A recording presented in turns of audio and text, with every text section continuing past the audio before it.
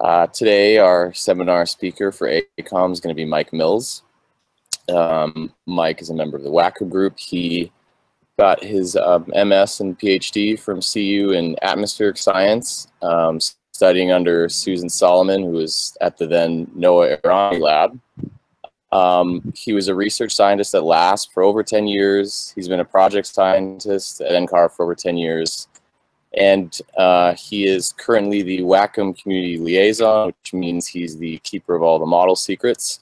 Um, he's done a whole lot of work on stratospheric aerosol microphysics, ozone chemistry, and their impacts on climate through volcanic and anthropogenic processes, uh, including limited nuclear war. And Mike's a paper from a few years ago on volcanic SO2 emissions just recently last year won the 2019 UCAR Outstanding Publication Award, um, which included a lot of researchers from a really broad swath of the community. Um, so with that, please welcome Mike Mills. Thanks, Nick. Um, so I'm going to talk a lot about modeling with some history of the impacts of volcanoes on climate to begin with. Uh, I wanted to start with this beautiful animation from a series of photos taken by an astronaut on the International Space Station of the 20, uh, 2009 eruption of Sarychev Peak in the Kuril Islands, which are uh, between Kamchatka and Japan. And um, they just happened to be going overhead when this happened, and you could see a lot of different things going on. Um, the ash cloud rising, uh, condensation forming in a bubble cloud and punching a hole in the lower deck of clouds, and then pyroclastic flows going along the, the ground there. Um, and I believe this is a an uninhabited island, fortunately. Um, a lot of the work on climate was uh, shown here was done with a, a, number of collaborators that I've listed here, and um, I'm sure uh, a number of others that I probably left out. Um, so let's start uh, with what is known as the year without a summer. This um, happened following the eruption of Mount Tambora in the year 1815, which was the most explosive volcanic eruption to the last 10,000 years. It happened on an island um, in Indonesia where only 26 out of 12,000 people uh, survived this eruption on that island. Uh, there was an, er an, earthquake as well. Uh, a total of about 90,000 people are thought to have died. About 200 miles around the volcano experienced three days of total darkness from all the material um, that was put into the atmosphere. This is what happened uh, half a world away in Connecticut. Um, these are the mean June temperatures in Connecticut um, in the late 18th and early 19th century. And you can see this big drop here in the year 1816, which is the year following the eruption, and again in 1817. Uh, there was a book uh, that came out in 2014 about this eruption by Gillian D'Arcy Wood, Tambora, the eruption that changed the world. He said, for three years following Tambora's eruption, to be alive almost anywhere in the world meant to be hungry. In New England, 1816 was nicknamed Year Without a Summer, or 1800 and froze to death. Germans called 1817 the Year of the Beggar. Across the globe, harvests perish in frost and drought or washed away by flooding rains. Villagers in Vermont survived on porcupine and boiled nettles while peasants of the Yunnan in China sucked on white clay. Summer tourists traveling in France mistook beggars crowding the roads for armies on the march. And in fact, uh, the eruption happened about the same time as the Battle of Waterloo. So uh, Europe was recovering from many years of Napoleonic wars. And this uh, eruption and climatic disruption caused hardships at that time um, on top of that. Um, this is the, the snow line in June in New England. Um, you don't usually see snow in June in New England. Um, and it went up uh, all the way north of Massachusetts into Maine. The growing season in New England was dramatically reduced in 1816 compared to years before and after, um, dropping by um, more than half in some cases, uh, which produced a, a, a big um, crunch on people's ability to feed themselves.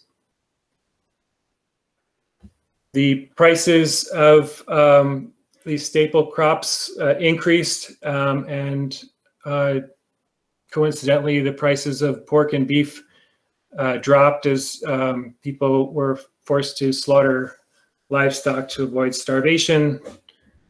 Um, something sadly that's going on right now with the COVID crisis. There was famine in Europe and Bengal, India. There were riots in France. People started fleeing New England uh, following this and the moving out into the Midwest. Emigration set back Vermont's population growth by seven years and population by 8%. Uh, the migration westward um, caused the spurred the development of the Erie Canal in 1817 to improve transportation into the interior. Um, th this is also the time of the first cholera pandemic, the first time that cholera spread outside of India. Um, and it's believed that this had to do with disruptions to the monsoon, the Asian monsoon, um, which in which uh, there were periods of, of dryness that when it was normally wet, followed by periods of uh, a large amount of precipitation. And uh, here we can see the, the path of cholera from India through the Middle East into Europe and to the United States. This is a photo of Mount Pinatubo erupting in 1991.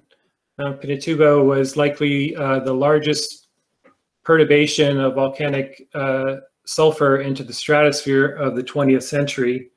Um, this eruption shown in this picture uh, happened just a few days before the eruption that put the, the sulfur into the stratosphere. Um, the one that put it into the stratosphere happened in the middle of a typhoon, so we don't have nice pictures of this, but there were a series of eruptions leading up to that.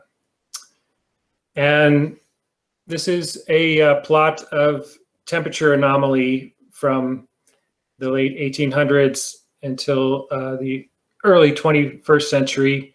And we see um, drops following uh, drops in temperature following uh, eruptions like Krakatau, uh, Santa Maria, Agung in 1863. Um, El Chichon happened in 1982 and Pinatubo in 1991. So how do volcanoes cool the planet?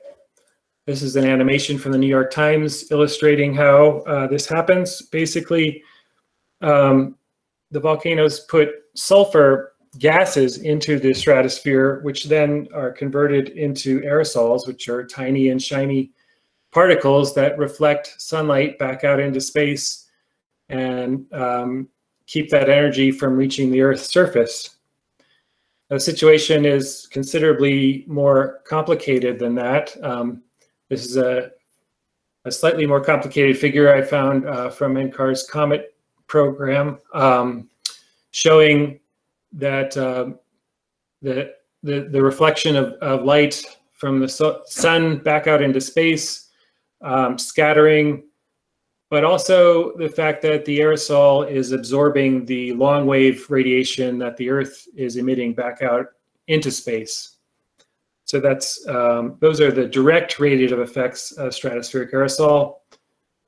And in addition to that, there are also indirect effects in that the aerosols can affect clouds, and they have different effects um, on on clouds. Uh, particularly, um, th these aren't necessarily well understood because it's very difficult to study these in the real atmosphere. But um, aerosols can affect the size of cirrus clouds, um, and they can also potentially affect uh, clouds in the lower atmosphere. and clouds have a big impact on the radio budget of the Earth.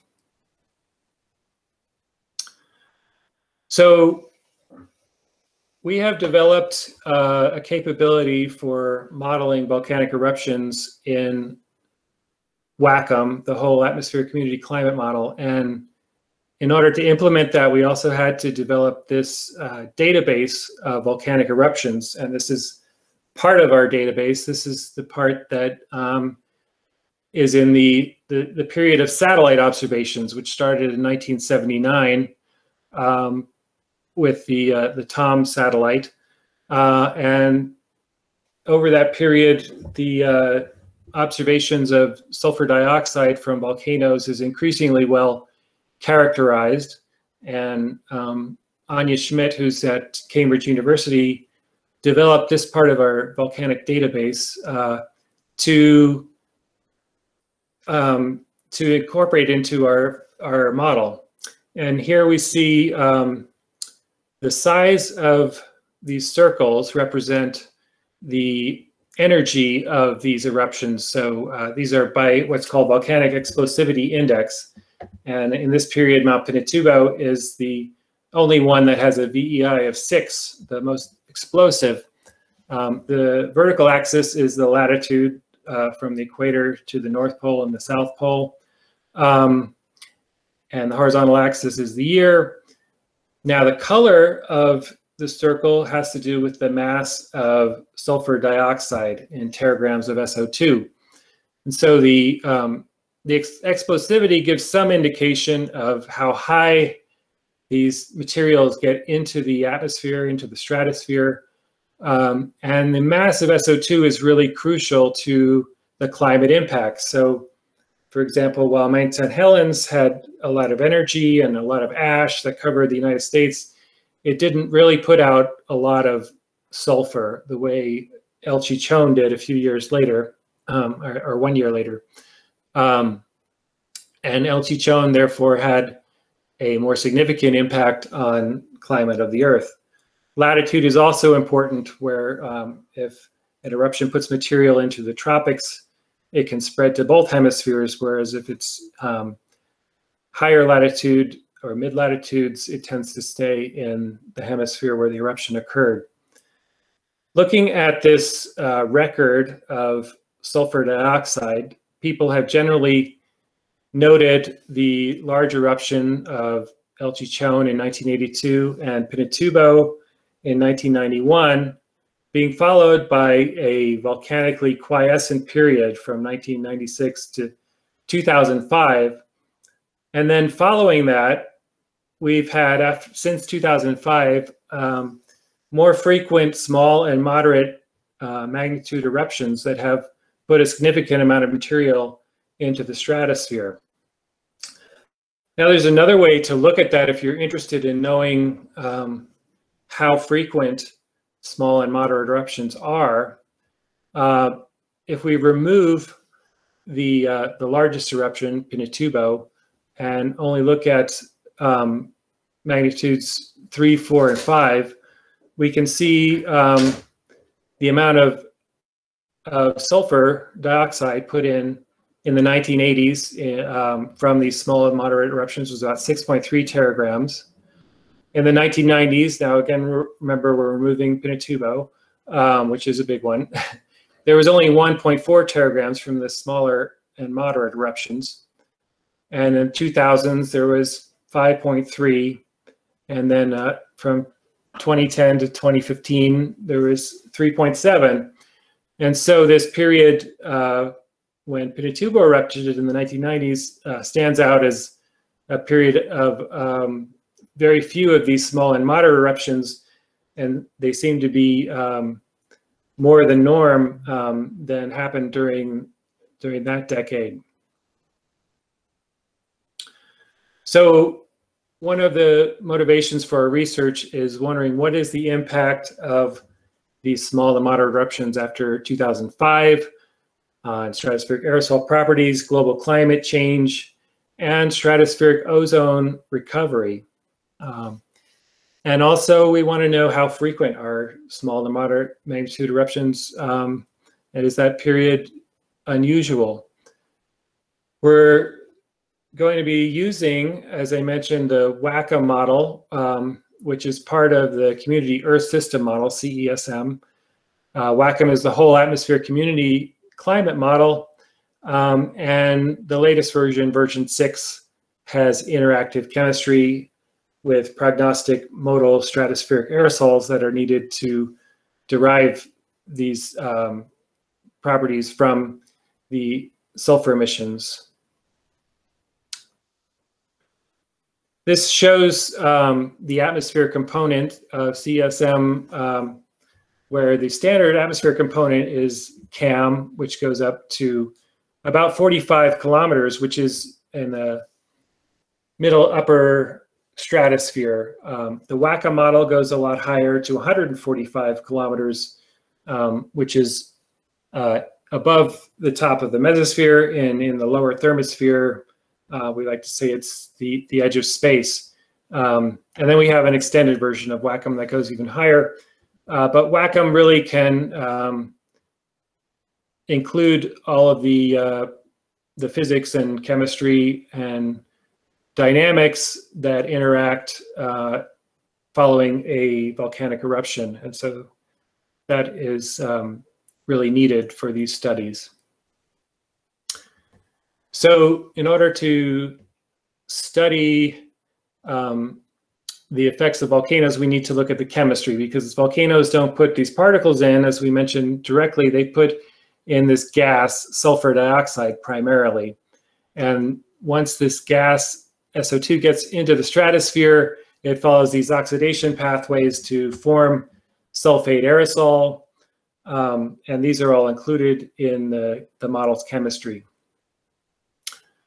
Um, so this is, uh, as I mentioned, the, the chemical oxidation pathway.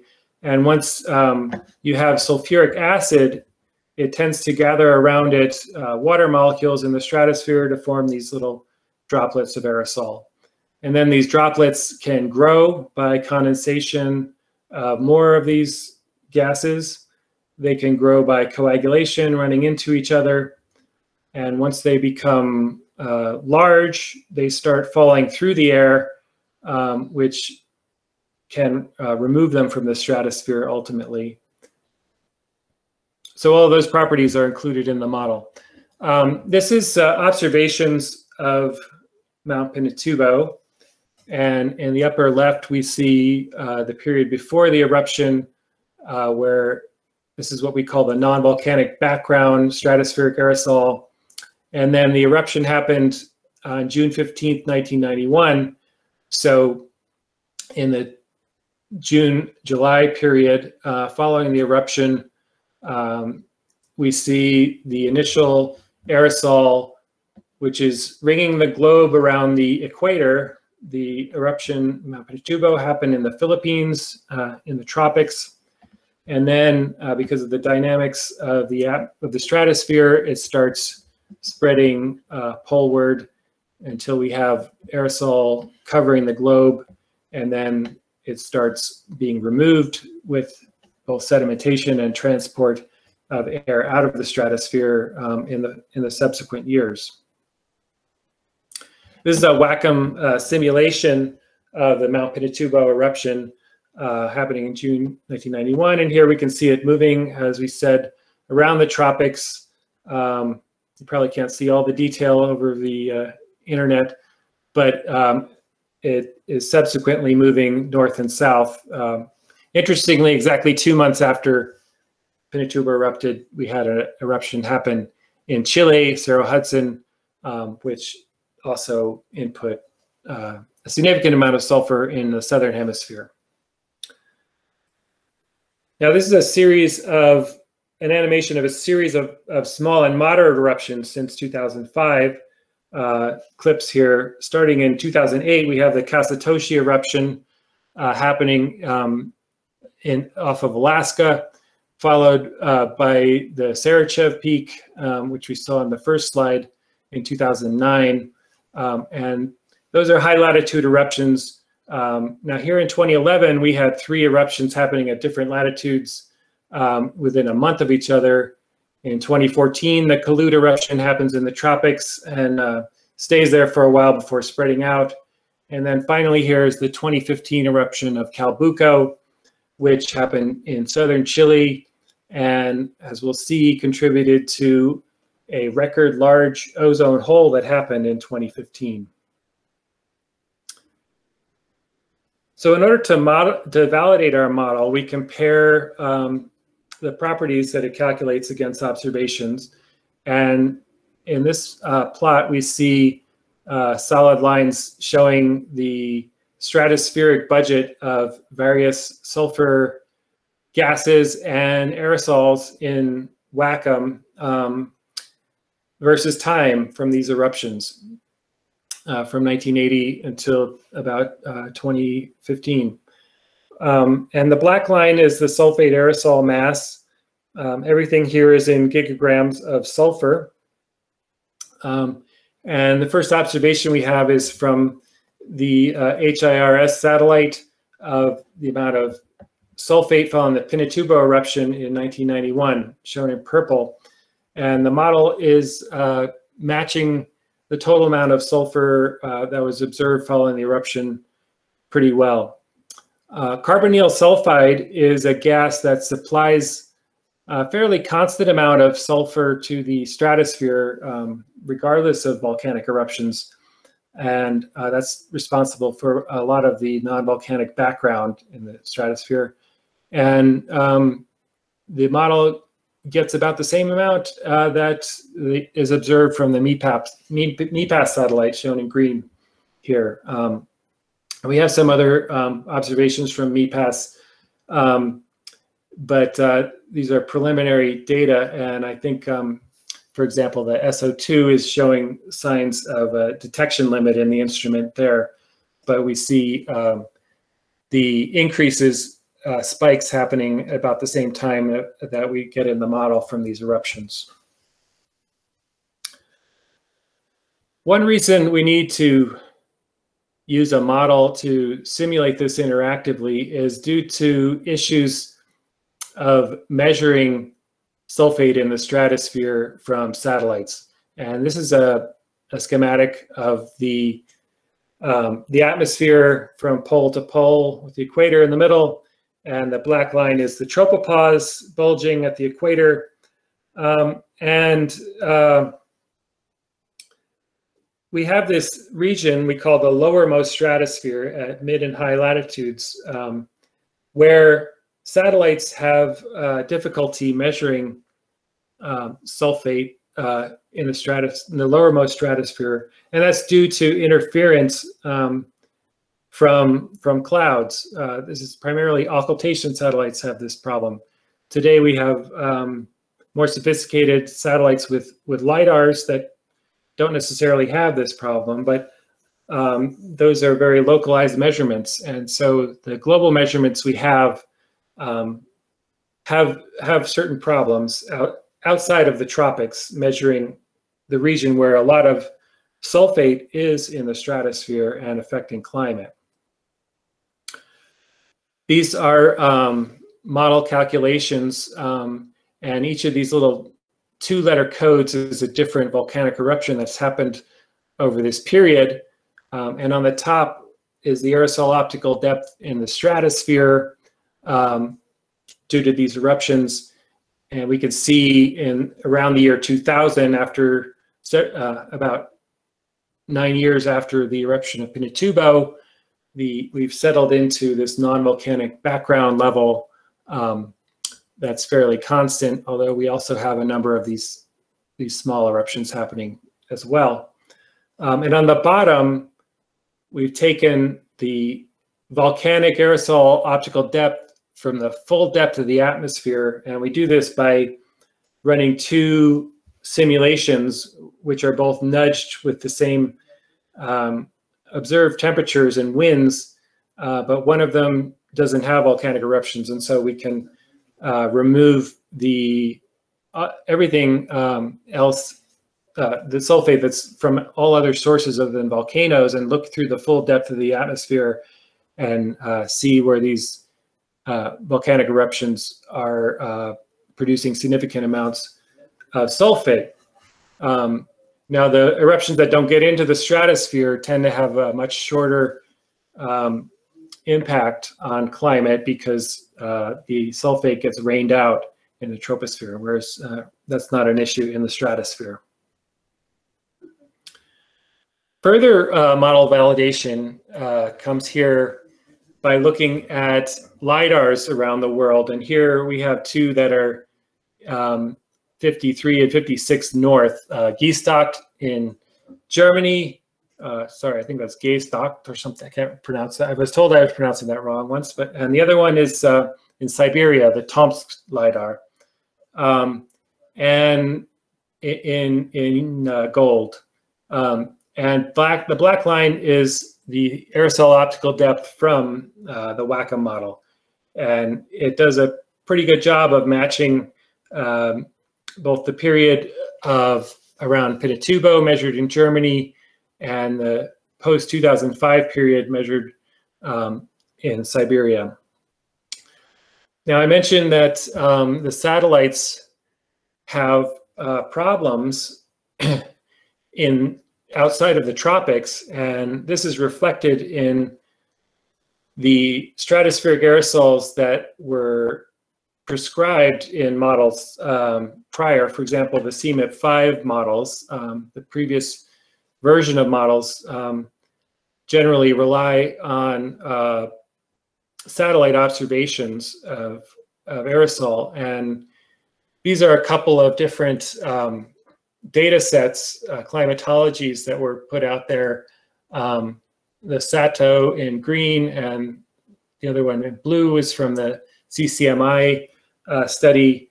Um, and here we see um, big differences uh, with the LiDAR, in particular uh, in the post-2005 period, uh, where it's missing uh, a lot of the aerosol that is evident in the LiDAR as well as in WACCM. And uh, I believe that's due to this issue of cloud interference in the lowermost stratosphere. So um, being able to do this interactively in a model um, can produce uh, much more self-consistent and reliable results. And we validate the model against LiDARs here uh, at a a, a span of different latitudes from 79 north um, in Scandinavia, down um, uh, through, as we've seen, uh, Siberia, Germany, uh, Tsukuba, Japan, and Mauna Loa in the tropics, and, and Lauder, New Zealand in the southern hemisphere. Um, and at all these latitudes, uh, the model does uh, generally quite well in comparison to these LiDAR observations. Uh, we have different WACCM runs in red and blue, and that just has to do with whether we tell it what the sea surface temperatures are in the red runs or whether we use a coupled ocean model in, in blue here. Now, as I mentioned, um, aerosols don't just scatter sunlight, they also absorb the infrared uh, radiation from the Earth, and that causes warming in the stratosphere in addition to cooling at the Earth's surface. And here we see observations in black uh, from radiosondes showing this warming here in 19 after the 1981 eruption of Chichon and 19, or 1982 um, and 1991 eruption of El, of uh, Mount Pinatubo. And uh, the WACCM model captures that very well. In addition, we note that uh, the long-term trend is cooling in the stratosphere, and this is due to greenhouse gases um, and their, their radiative cooling in the upper atmosphere. The radiative response of eruptions uh, has also been well validated in, in uh. Um, and uh, this is uh, following the eruption of Pinatubo again in 1991. Um, on the top plot, we have the absorbed shortwave radiation, which is uh, decreasing um, and uh, the black line is observations uh, from the Earth radiation budget satellite. Um, and in red, we have um, uh, WACCM simulation with eruptions and blue without eruptions. And so we can see the impact um, that had on the shortwave radiation due to the scattering from volcanic aerosols. Um, and the middle is the outgoing long wave. This is the absorption of the infrared light, um, showing uh, a good correspondence to observations as well. And the bottom is the difference between the two, the net effect on the Earth's radiation budget. So what is the impact of small to moderate eruptions on surface climate? This is a, a figure from a paper that was in Nature in 2016 um, showing the global ocean heat content in uh, model simulations uh, for uh, CMIP 5. And we note uh, not only that uh, we have a lot of warming in the oceans due to the uh, carbon dioxide increasing over time, but also these periodic uh, big drops following these volcanic eruptions. And um, this is Mount Agung in 1963, El Chichon in 82, uh, Pinatubo in 91. And these can uh, set back um, the rate of global warming uh, for a decade or so um, in the oceans because of the, uh, the long inertia of the oceans. So um, we wanted to diagnose in the model um, what was the impact of, of these uh, recent eruptions. And um, here we're looking at uh, the long wave radiation in red, the short wave in blue, uh, changes due to volcanic eruptions, and uh, the net effect of the two in black. And in order to do this, we had to again run WACCM simulations with and without volcanoes, uh, which were both nudged with the same winds and temperatures. And again, we note uh, El Chichon and Pinatubo causing their impacts, followed by uh, this quiescent period and the small magnitude eruptions. Um, and we're able to uh, diagnose uh, the forcing um, in this period uh, particularly the, the quiescent period from 1999 to 2002, stratospheric aerosol during this period when there were few eruptions had um, an effect of negative 0.04 watts per square meter. Whereas the period from 2005 to 2015 had uh, forcing of negative 0.12 watts per square meter.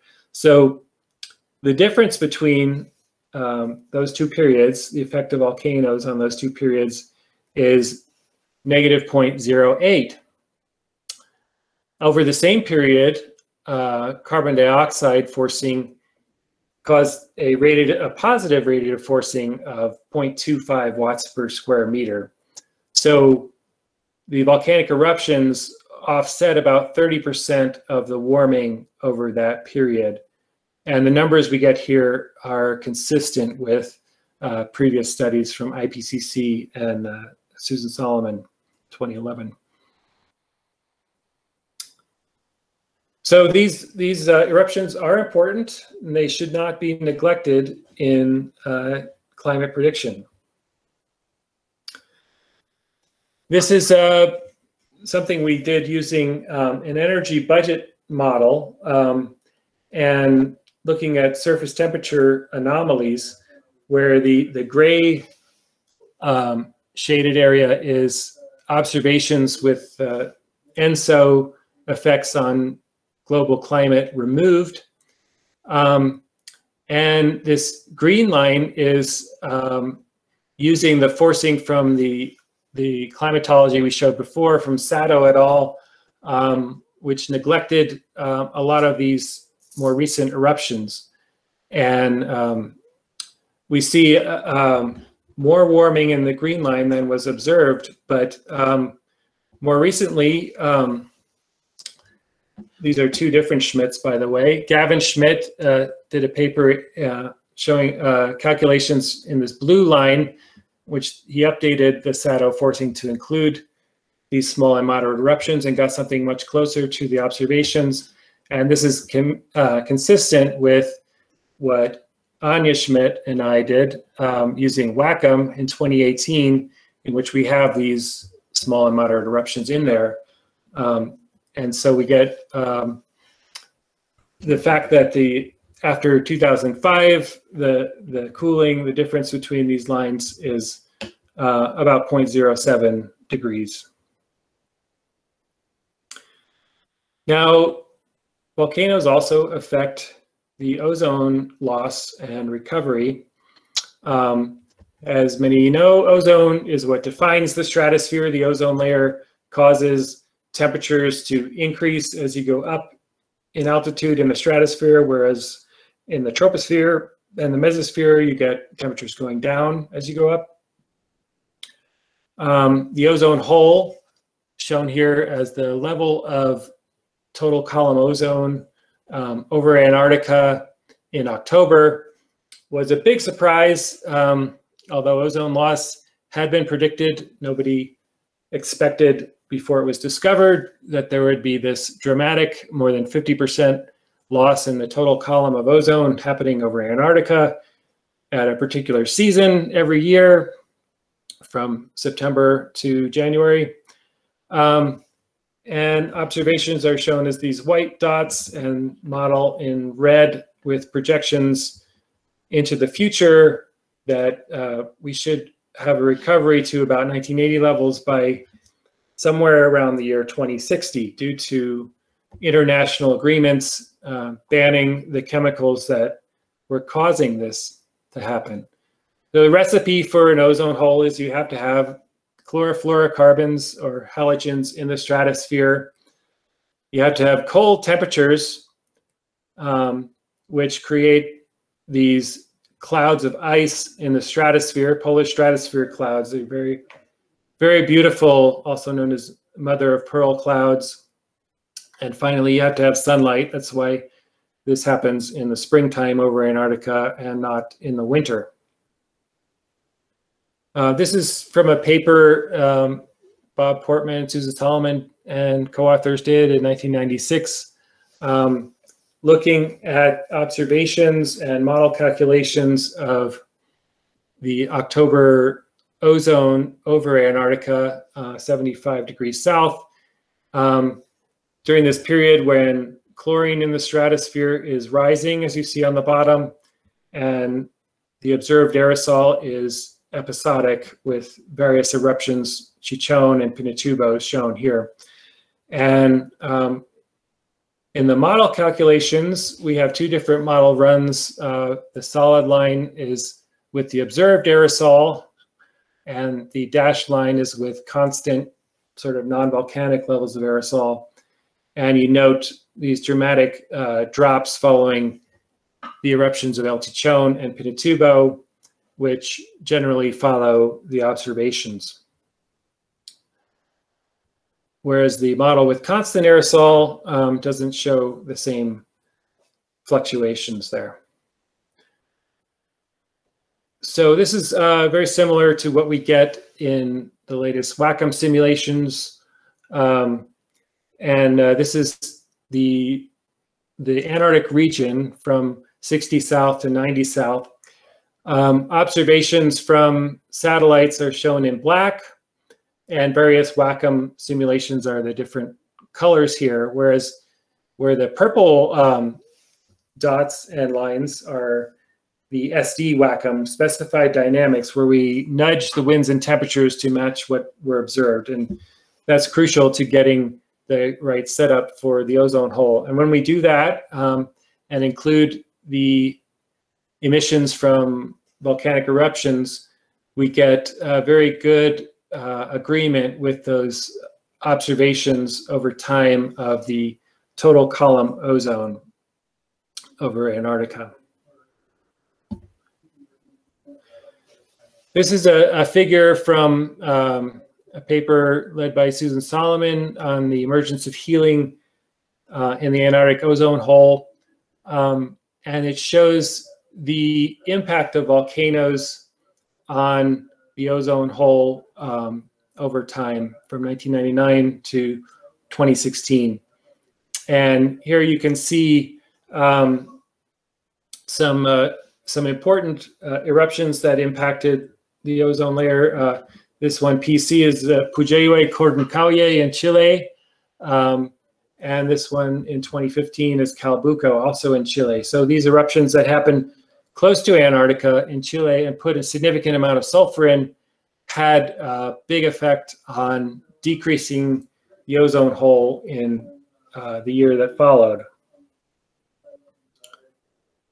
And in fact, um, this is an, another paper led by Diane Ivy using WACCM uh, that showed the uh, the impact of this Calbuco eruption in 2015 on the record large ozone hole that happened that year. Um, here we see uh, versus the day of the year, the size of the ozone hole in millions of square kilometers.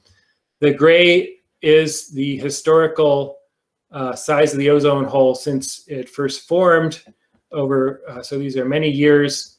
Um, the uh, teal, blue, green here is the TOMS observations of the size of the ozone hole. And then and the orange is SD WACCM calculations, including volcanoes. When we remove the volcanoes from our simulation in the yellow line, uh, we get a significantly smaller ozone hole there. Um, and so reduces the size of the ozone hole um, so that it, it doesn't really reach a record uh, large size for a significant period of time. Um, now in those uh, simulations on the left, we're nudging the, the winds and temperatures to be what were observed. Uh, but those, those winds and temperatures are also affected by the uh, volcanoes. And so um, we did other simulations um, with free running uh, WACCM, which we didn't nudge the temperatures. Uh, of course, in that case, you're not going to get as good correspondence to the observations, but you can compare the runs with and without uh, volcanoes.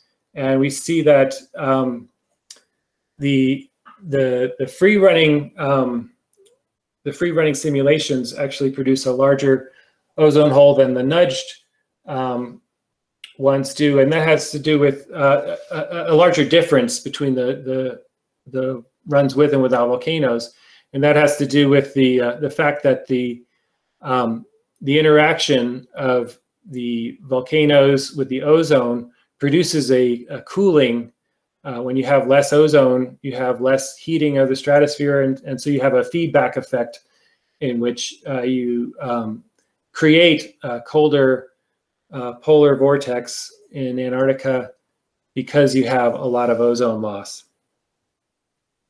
And that produces more ozone loss. Um, this uh, effects of volcanoes uh, doesn't just happen on the ozone layer in Antarctica, but also globally. And here um, are, again, uh, observations in black and WACCM nudge simulations in purple matching very well. And again, we see the effects of Chichon and Pinatubo, which reduced the global amount of ozone by about three to 5% each. Um, and we also showing here um, uh, model WACCM runs that were not nudged, uh, we have a lot less ozone here, and that has to do with our circulation in the model being a bit too fast. So this has led a lot of people to the idea that if uh, volcanoes can offset global warming, why don't we offset global warming by creating something like a volcano? Uh, the idea of geoengineering um, or climate engineering, spraying particles, it could be the same ones that the volcanoes do into the atmosphere or something perhaps better. So we started using the WACCM model for uh, looking at the effects of doing something like that. And the motivation has to do with the fact that global warming is accelerating. Billions of people are already suffering its effects. Dramatic reductions in greenhouse gas emissions are the only way to stop it. And under the most optimistic of scenarios, significant future suffering is still inevitable. So this raises the question of whether we should try to reduce suffering by interfering more with the climate. Um, and if we do try to do that, can we hope to control uh, what we're doing in a complex Earth system? Our simulations have relied on the concept of feedback, where we don't just do something in the model and um, ignore what it does and, and run an experiment for the full period, but we make an adjustment, look at what it does, and use that knowledge to um, to feedback on what we do in the future.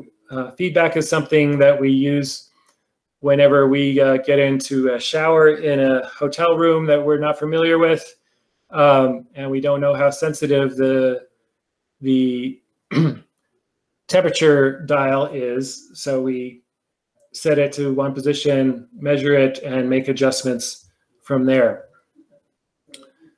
So our modeling approach uh, varies the emission of sulfur dioxide gas from year to year at four different latitudes to control three climate parameters using feedback.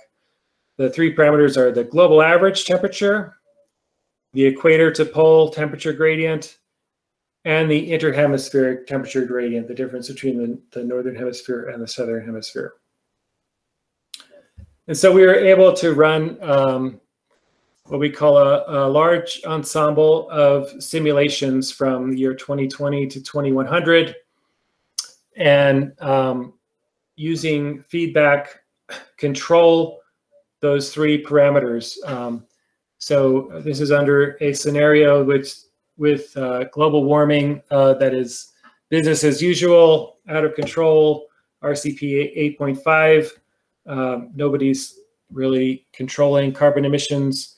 Um, and we're trying to um, offset the full effect of that on those three different um, parameters. And largely are able to do that, although by the end of this century, we are putting in a huge amount of sulfur into the into the stratosphere to do that.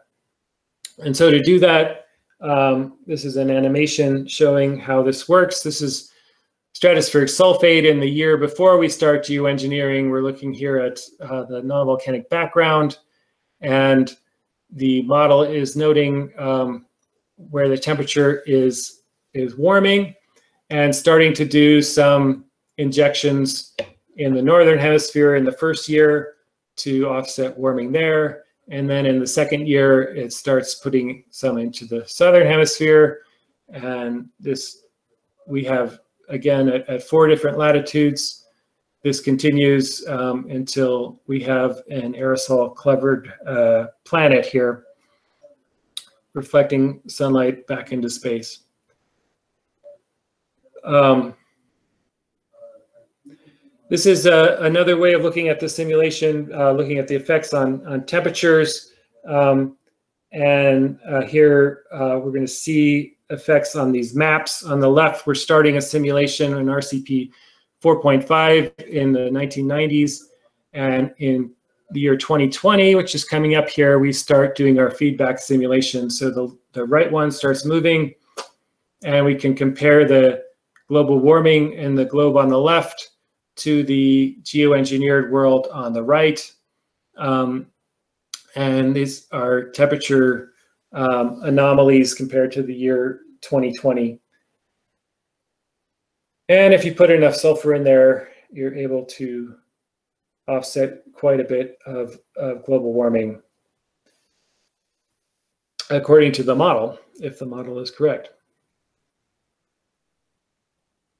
Um, but all of this sulfate, as we noted, has impacts on the ozone layer and particularly the Antarctic ozone hole. So uh, here we look at the um, the total amount of SO2 increasing from 2020 to 2100 in the upper left. Um, and in the lower left, we look at the October total column ozone um, as the ozone hole is recovering in the 21st century uh, due to the Montreal Protocol and amendments uh, in the black curve. If we add geoengineering to that, the blue, it sets back the recovery of the ozone hole by um, a couple of decades at least. Um, however, if we look at other regions of the globe, um, in the upper right, we have the Arctic ozone dent, which is a much smaller version of the ozone hole. On the other side of the globe, uh, the impacts are not quite as big. Um, and globally, um, here in the lower right is the effect on um, mid-latitude ozone, 40 to 60 north, um, with geoengineering not really being significant at all. Other things uh, we've looked at are the impacts of uh, geoengineering on um, temperature and precipitation. Um, and uh, all of these have led to a, a, large number of publications and all this data is available at this, uh, this website shown here below. Um, so I just thought I'd introduce people who aren't familiar with this work to uh, to what we've done in that space. And then um, I just have conclusions here, summary that uh, aerosol climate models now rely on volcanic sulfur dioxide emission estimates and other source term parameters rather than prescribing stratospheric aerosol. Uh, the WACCM model, stratospheric sulfur budgets and stratospheric aerosol properties and radiative responses are well validated in the satellite era from 1979 onwards. Small to ma uh, moderate magnitude eruptions do matter. Um, volcanically quiescent periods are statistically, they seem to be statistically rarer than periods of uh, small, uh, frequent small to moderate magnitude eruptions. Um, and the eruptions that happen after 2005 offset about 30% of the warming from CO2 emissions uh, since the uh, period right before 2000. Eruptions also affect the recovery of polar ozone.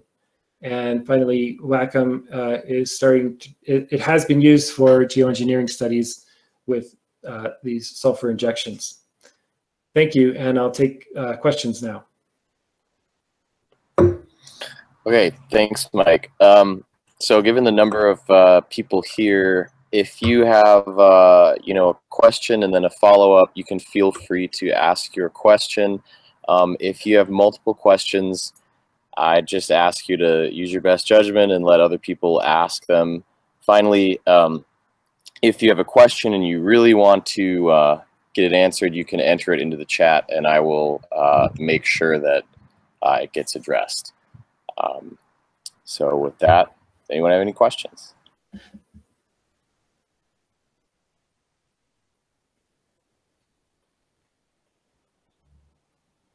Hi, I'll ask a question. Uh, this is Margot speaking. Hi, Mike.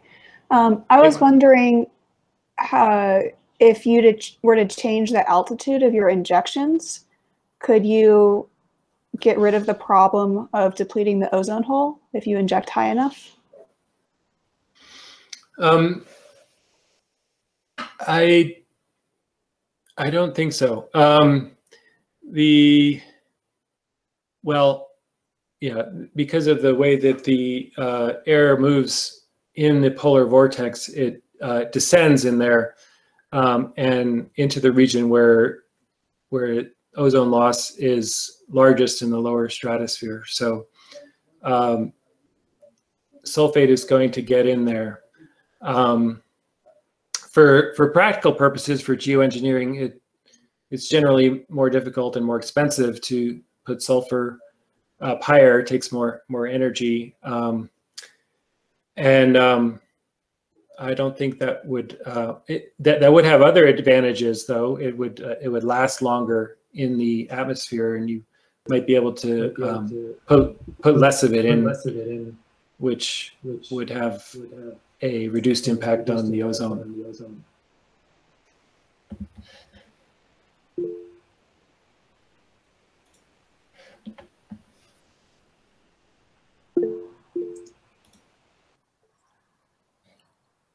Um, so Frank has a question. Uh, how would injection of 20 to 50 megatons a year of SO2 work logistically? Um, which I was also interested in. um, there are people who are, are working on that. Um, I'm not one of those people, but I've I've seen um, some talks on that, um, and I think the um, the the best option is not rockets, but uh, airplanes is, is generally agreed. And um, it seems like um, it would require the development of new aircraft technology that could loft um, uh, heavy loads up into the stratosphere um, on a regular basis. And uh, um, it would it would require a, a fairly constant um, fleet of of aircraft um, doing that uh, repeatedly all the time. um, there, there, um, people have proposed um, constructing some sort of a hose to do this, um, but that has um, really big technical challenges. I think you could also use carbonyl sulfide, which is a, a, a gas um, that produces the non-volcanic background. However, um, first of all, a lot of that would be consumed at the surface by plants who prefer to consume OCS to CO2. Um, and if you're producing a huge amount of it in one spot, it, it can be toxic.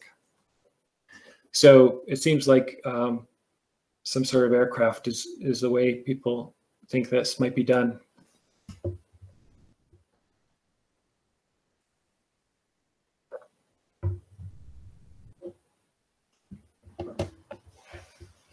Okay, so there's another uh, question in the, the chat window by Haiyan Tang. Um, given the large internal variability of the climate system how should we verify whether models can simulate the right climate response to small volcanic eruptions? Yeah, that's that's really a good question. Um, it's even difficult to do for large eruptions like Pinatubo, um, frankly, because um, there is a huge amount of variability just due to things like um, ENSO and so forth. And so we've been able to validate um, the radiative response in nudge simulations, uh, in which we nudge the temperatures and winds, and just look at the impacts on the shortwave and long wave radiation as I show. Um, and that is easiest to do for these large eruptions like Pinatubo, where you have a, a large signal. Um, for the small and moderate eruptions, um, there's a much smaller signal, and we're getting down to uh, detection limits of of satellites. But um, the, the best that we've been able to do for those is to look at uh, aerosol properties as measured from um, from lidars and then to um, ensure or, or, assume that our model is behaving well um, under under small burdens the way it is under large burdens, and that involves getting the uh, the microphysics and the the scattering correct in our models. So um, to some extent, it, it's difficult to to do exactly what you you asked to do uh, for small and moderate eruptions, but we we do it indirectly.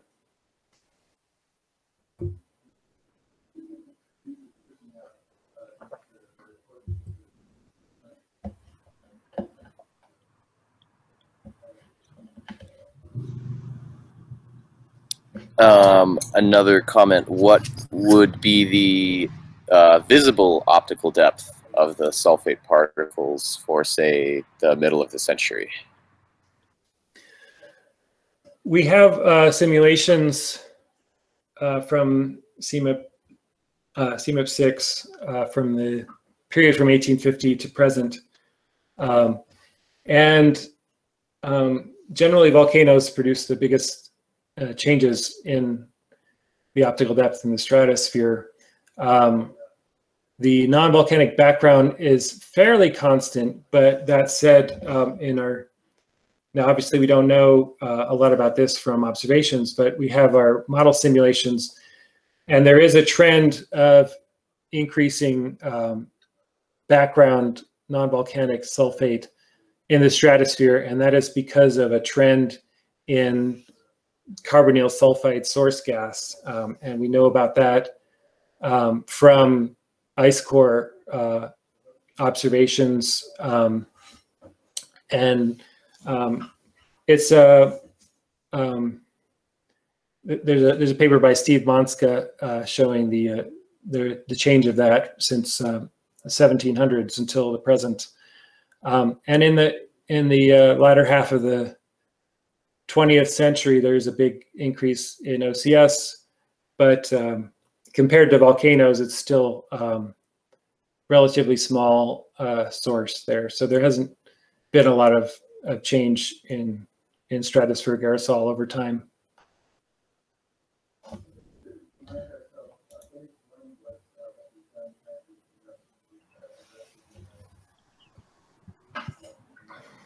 Okay, got, there's another um, question in the chat. We can, we can keep going for a little bit because we started a bit late. Um, if you need to leave, feel free to, to leave. But uh, how do um, the volcanic aerosols impact the stratus or the sorry the mesosphere?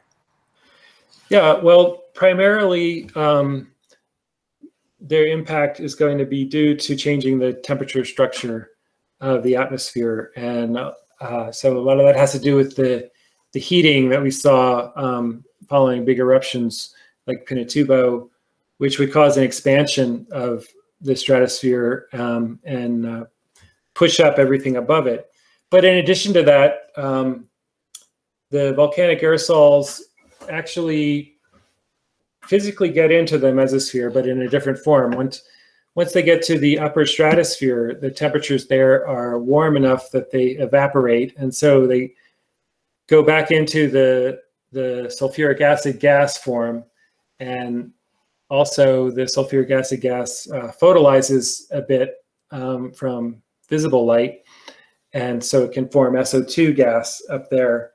Um, and it is possible that uh, this does have some impact um, all the way at the, the summer mesopause where polar mesospheric clouds occur. But um, uh, that's pretty much the edge of space. So it's, it's difficult to um, detect things up there. Okay, Mike, one more um, question, which is a follow-up to the visible optical depth of sulfate. Um, oh. It was oh. intended to be about geoengineering, the geoengineering. Oh, I see. yeah. Mid that century, uh, mid 21st century, not mid 20th century. Um, uh, what is the optical depth? Yeah, um, I I don't know if I show that on um, on these slides. Uh, I guess. Yeah, we don't. I don't have that here on these slides, so I don't um, know know that offhand. I'll have to look that up. That's that's a good question.